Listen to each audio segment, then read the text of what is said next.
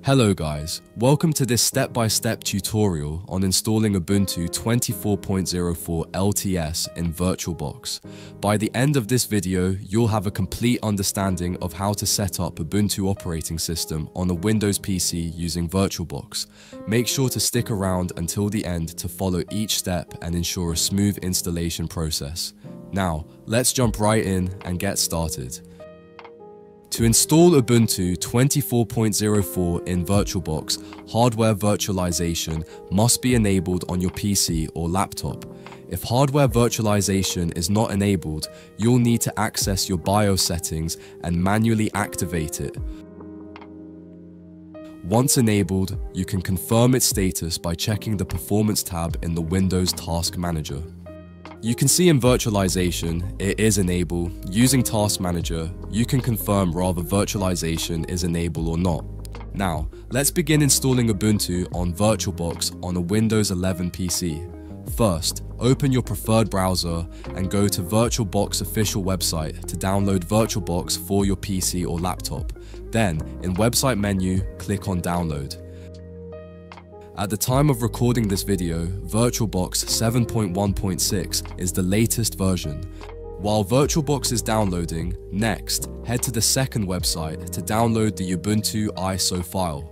I will provide both VirtualBox and Ubuntu website link in my video description. This is the latest version of Ubuntu at the time of this recording. Once the downloads are complete, go to the download folder and install the VirtualBox application.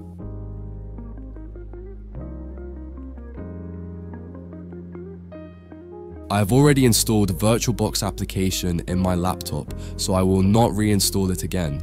You can install the application. After installation, run the VirtualBox.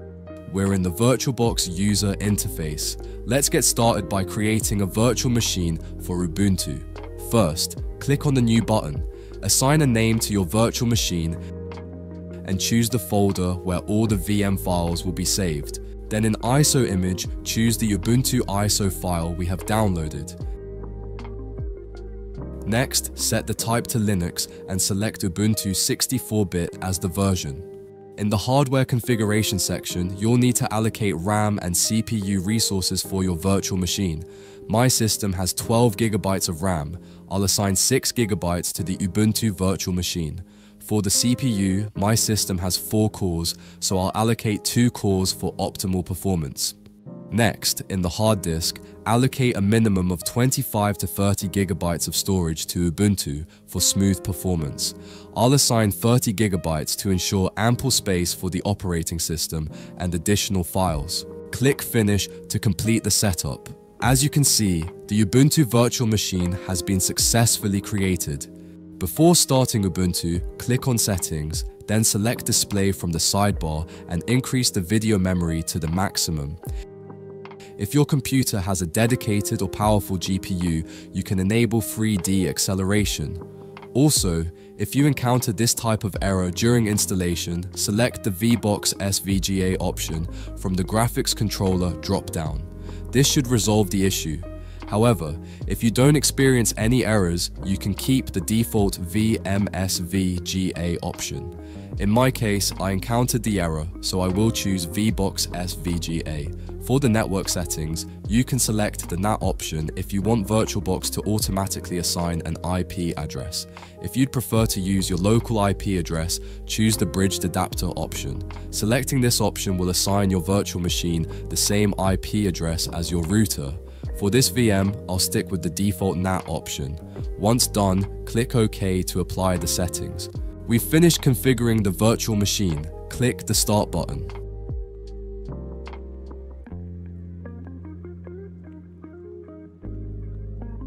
Now, use the arrow keys to select Try or Install Ubuntu, then press Enter to boot into the live setup.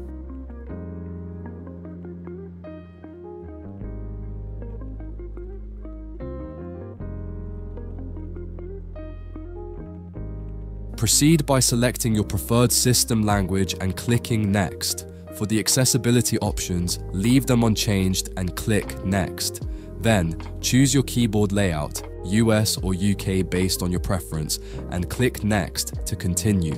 For the internet connection, leave it set to wired connection. An update is available for the installer, but we will skip it and proceed with the installation. You have the option to try Ubuntu before installing it by selecting the Try Ubuntu option. However, for this setup, we'll choose Install Ubuntu. Click on it and proceed by clicking Next.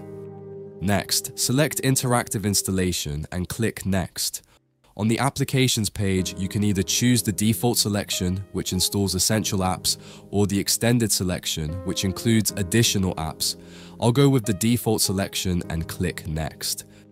Then, check both options to optimize your computer by installing the recommended drivers and click Next. For the installation type, select Erase Disk and click Next to continue. Now, create a user account by entering your Ubuntu login name and password. Be sure to remember these credentials as they will be required to log in after the installation. Once done, click Next to proceed. Select your time zone and click Next. Here is a summary of the installation. Click on Install Ubuntu to begin. The process will take 5 to 10 minutes, so sit back and be patient.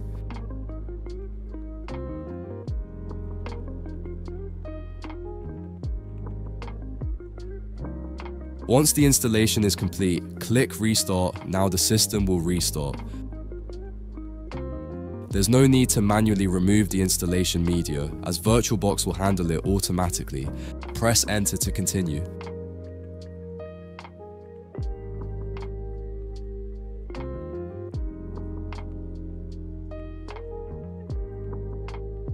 And there you have it. Once the login screen appears, enter your password to log in. That's it. We've successfully installed Ubuntu 24.04 in VirtualBox.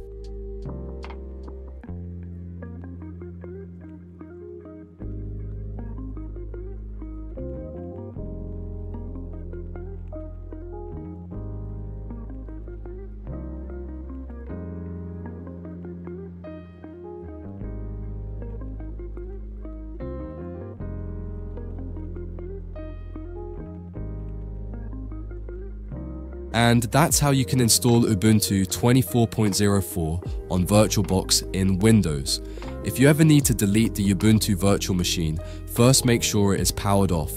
Then, go to the VirtualBox main interface, select Ubuntu from the sidebar, right click on it and choose remove. In the pop-up window, select delete all files to completely remove it. That's it. If you have any questions, feel free to leave them in the comments and I'll be happy to assist. Thanks for watching and I'll see you in the next video.